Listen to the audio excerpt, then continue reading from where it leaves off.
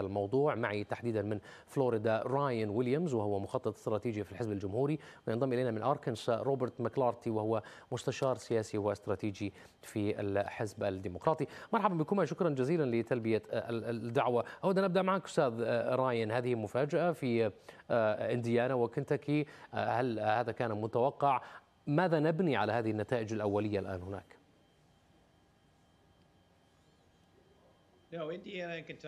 نعم إنديانا وكنتاكي لم تكن في الواقع معرضة لفوز ديمقراطي نحن الآن بدأنا نحصل على معلومات في الاستطلاعات لدى خروج المرشحين من مراكز التصويت وهي لا تعطي فكرة بالضرورة عن التصويت ولكن فقط عن المشاركة أعتقد أن النتائج ستبدأ بالظهور بعد السابعة مساء ثم نرى التوجهات خاصة في السباقات المقربة. وعلى ذكر المشاركة راين ما هو تقييمك للمشاركة حتى الآن؟ وهل تعكس المشاركة إحباط الناخبين من الحزب الحاكم؟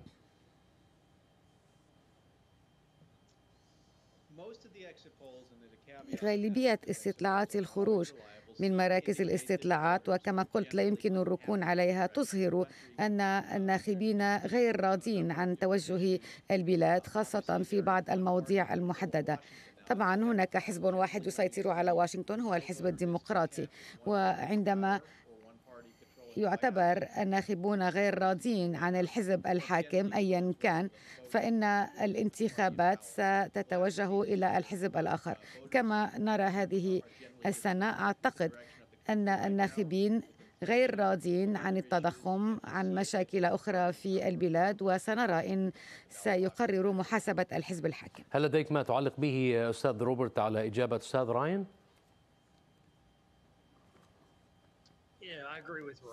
أتفق مع رايان في نهاية المطاف.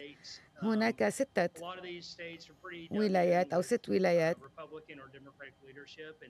يمكن أن يفوز فيها إما الجمهوريين إما الديمقراطيين وهي ستقرر مصير مجلس الشيوخ. كما قال راين استطلاعات الخروج لا يمكن التأكد منها ولكن النتائج ستبدأ بالظهور في بعد إغلاق محطات الاقتراع في الساحل الشرقي. هل هذا بالضرورة روبرت يعني وهذا ما تتحدثان عنهما عنه أنتما ومتفقين؟ من الواضح أن هناك اتفاق على هذه النقطة نقطة الإحباط. هي ما قادت إلى المشهد الذي نراه الآن. هل تتفقان بأن مشهد الانتخابات انتخابات التجديد النصفي يميل إلى أنه مواجهة وسجال جديد ما بين الرئيس بايدن والرئيس السابق دونالد ترامب أكثر مما أنه أو أكثر من أن يكون انتخابات تجديد نصفي عادية روبرت.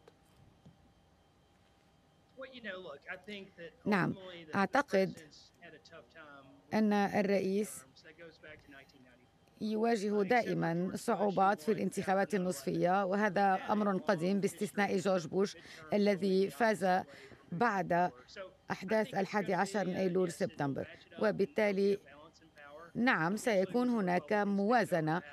سيسيطر الجمهوريون على مجلس النواب وسنرى نتائج مجلس الشيوخ.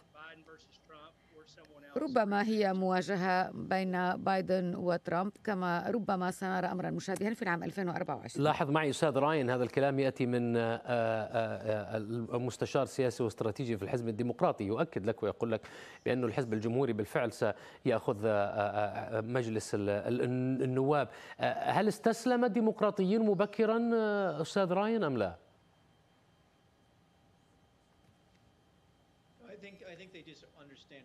أعتقد أنهم يقرؤون الواقع كما يقول الضيف الآخر. الحزب الذي ليس في سدة السلطة يبلي حسنا عادة في الانتخابات النصفية.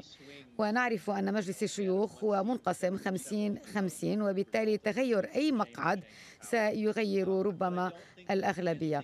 ولكن أيضا لا أعتقد أن ما نراه اليوم أو ما سنراه لاحقا الليلة سيكون مؤشرا لانتخابات العام 2024 رأينا مع رئيس أوباما كيف خسر في الانتخابات النصفية ولكنه انتخب مجددا بعد أربع سنوات. علينا أن نركز على تفاصيل الأشخاص في الانتخابات الرئاسية. إن كانت المواجهة مجددا بين بايدن وترامب سنرى أيضا وسنرى السجل بعد أن يكون بايدن قد بقي لولاية كاملة. يجب علي أن نركز هنا بناء على المعطى الذي تفضلتما به ما به أنتما ضيفي الكريمين بأن مجلس النواب سيذهب إلى الجمهوريين. هذا يعني بالضرورة أن هناك قضايا كثيرة ستكون على رأس أولويات الجمهوريين. أستاذ راين ما هي أولوية القضايا التي سيبدأ بها الجمهوريون لدى دخولهم إلى مجلس النواب؟ نعرف بأن لديهم قائمة طويلة من بدء بالمحاكمات. سيبدأون وصححني إن كنت مخطئ بابن الرئيس جو بايدن ناهيك لربما عن قضايا أخرى أيضا إجرائية. هل سنشهد جولة جديدة دائرة جديدة من الاستجوابات والتحقيقات والمحاكمات؟ إن صح الوصف في مجلس النواب من قبل الجمهوريين لدى دخولهم له أو سيطرتهم عليه. نعم الحياة ستكون صعبة لهانتر بايدن ولأعضاء إدارة الرئيس بايدن. الجمهوريون كانوا واضحين سيحققون بمسألة كمبيوتر بايدن وبعض المسؤولين في الإدارة. سيركزون على الاقتصاد والطاقة ومن دون شك الجمهوريون في لجان المراقبة في مجلس النواب سيركزون على هذه المسائل. وهذا ما نراه عادة عندما يفوز الحزب الذي لا ينتمي إليه الرئيس. السلطة في الكونغرس سيجعل الحياة صعبة للرئيس وللإدارة والعاملين في البيت الأبيض والوزراء وغيره. سيواجهون تحقيقات وكذلك هانتر بايدن. هناك تحديات كثيرة تتعلق بهانتر بايدن وأمور كثيرة على المحك وهو من أعضاء عائلة الرئيس. تفضل أستاذ روبرت، هل بات من المسلمات؟ ان تتم محاكمة ابن الرئيس الآن مع بناء على المعطى الذي تفضلت به حضرتك قبل قليل بأنه خلاص انتهى مجلس النواب سيذهب بحسب رأيك أنت. أنا أنقل ما قلته حضرتك قبل قليل بأنه سيذهب إلى مجلس أو سيذهب إلى الجمهوريين. الآن ما هي الدروع الديمقراطيين مقابل قائمة الجمهوريين الطويلة في الهجوم المقبل من مجلس النواب؟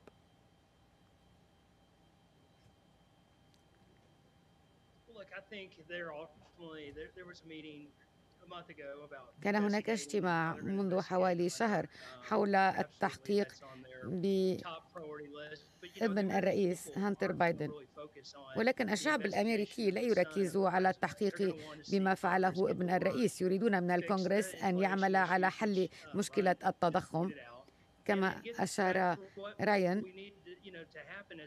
والعودة إلى عمل فعال في الكونغرس وربما التعاون أيضا مع السلطة التنفيذية. قضية بايدن ربما ستهتم بها وسائل الإعلام. ستكون قضية جانبية ولكن لا أحد سيصوت في الانتخابات الرئاسية في العام 2024 على تحقيقات بايدن. هو فقط أمر يريد أن يركز عليه الجمهوريون ولكن لا يهم روبرت. الناس. المهم هو الاقتصاد والطعام والإعالة وغيره روبرت تماما. أنا أعطيتها فقط كمثل لأن هناك قائمة طويلة مما يسعى الجمهوريون لبدئه من تحقيقات وحتى في بعض الإجراءات التي قام بها الديمقراطيون خلال الفترة الماضية. ولكن الانتقاد الذي تفضلت به وقلته أنت الآن بأن الأمريكيون ينتظرون عمل أكثر من مجلس النواب ألم يكن هذا هو ذاته الانتقاد الذي وجه إلى الديمقراطيين في أثناء فترة حكم الرئيس السابق آه، دونالد ترامب بأنهم سعوا ولربما قضوا فترة طويلة في محاولة لعزل الرئيس ولم يكن هناك تركيز على قضايا داخلية أمريكية. سعى إليها الأمريكيون وبناء عليها صوتوا لد لربما آه، إيصال الديمقراطيين إلى أغلبية في مجلس النواب آنذاك. نذكر ذلك آه، روبرت.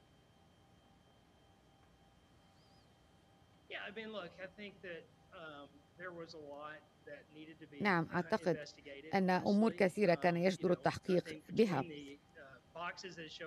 من بين مثلا الوثائق التي وجدت في مارا لاغو وما فعل أيضا أولاد الرئيس في أعمالهم. الأمر يختلف عن هانتر بايدن.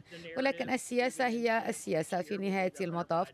وسيكون هناك تحقيق بهانتر بايدن وربما ابتعاد من التحقيقات المتعلقة بالسادس من يناير كانون الثاني. هكذا تعمل السياسة. في نهاية المطاف على أي حال الشعب الأمريكي يريد من الكونغرس أن يحل المشاكل الاقتصادية ويضع حدا للتضخم. وهل هل يعول اليوم على الحزب الجمهوري بأنه بالفعل سيقوم بإيلاء الوقت الكافي لهذه القضايا؟ برأيك أستاذ روبرت في مجلس النواب؟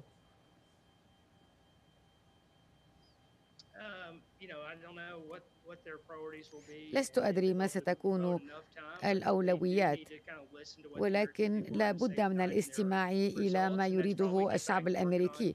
وبالتالي أيضا العودة إلى إصلاح الاقتصاد. هل بالفعل سيقومون بذلك راين؟ سيهتمون لو ستهتمون في الحزب الجمهوري الآن بتلك القضايا الأخرى قضايا التضخم والقضايا التي تهم الناس الآن هي على رأس الأولويات ستكون أم محاولة إفشال ما تبقى من أجندة الحزب الحاكم آه، آه، في آه، لدى وصول الجمهوريين إلى الأغلبية؟ هل هذه هي الأولوية أم ما يريده الأمريكيون؟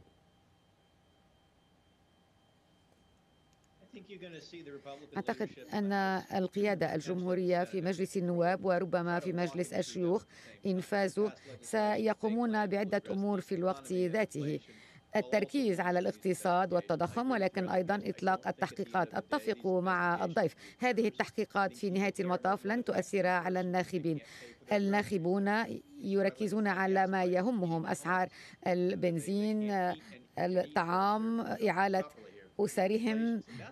رغم التضخم كل ذلك يؤثر على الناخب.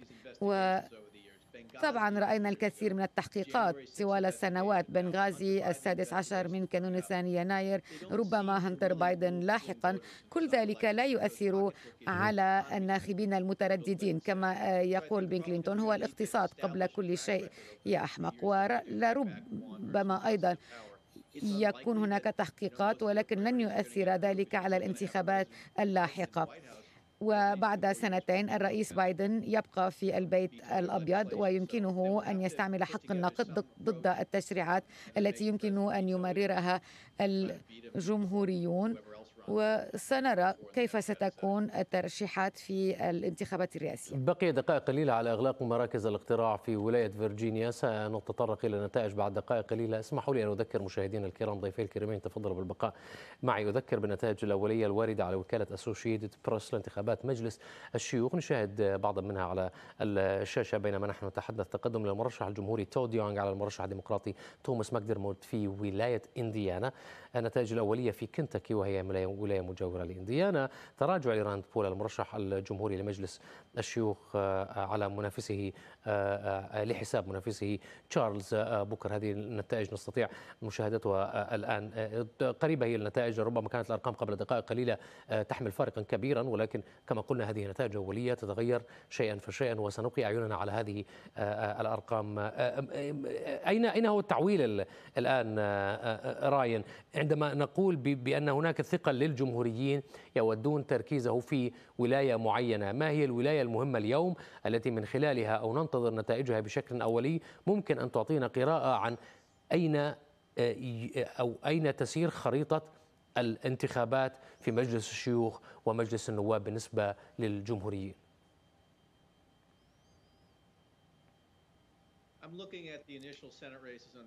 أنا أركز على الساحل الشرقي بنسلفانيا نيو هامشير وجورجيا سنرى النتائج. نيو هامشير أيضا.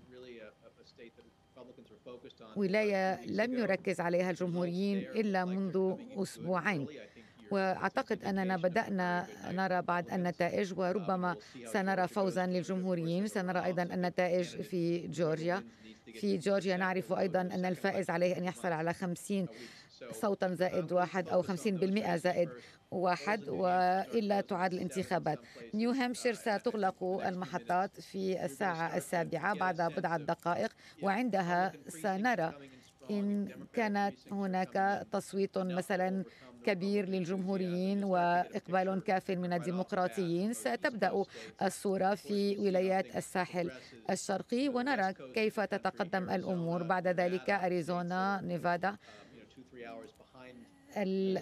الولايات التي تتأخر ساعتين أو أكثر عن ولايات الساحل الشرقي هل كان هناك فرصة ضائعة أستاذ روبرت على الديمقراطيين فوتوها؟ كان يمكن أن تحسن من مخرجات نتائج هذه الانتخابات المتوقعة والتي تشائمت حضرتك لربما بنتيجتها بعكس يعني أو ضد الديمقراطيين. بقي معي دقيقة رجاء. تفضل روبرت. نعم أعتقد أن الديمقراطيين ربما متأخرين. كما أشار رايان في بعض ولايات الساحة الشرقية. نركز على ولايات كبنسلفانيا ومثلا على جون شابيرو في منصب الحاكم. وكذلك كيف سيصوت الديمقراطيون خارج فيلادلفيا وكيف سيصوت الأمريكيون من اصول أفريقية في فيلادلفيا. أشكركما جزيلا روبرت ماكلارتي مستشار سياسي واستراتيجي في الحزب الديمقراطي من أركنسا وشكرا لك أيضا راين ويليامز المخطط الاستراتيجي في الحزب الجمهوري من فلوريدا شكرا جزيلا لكما.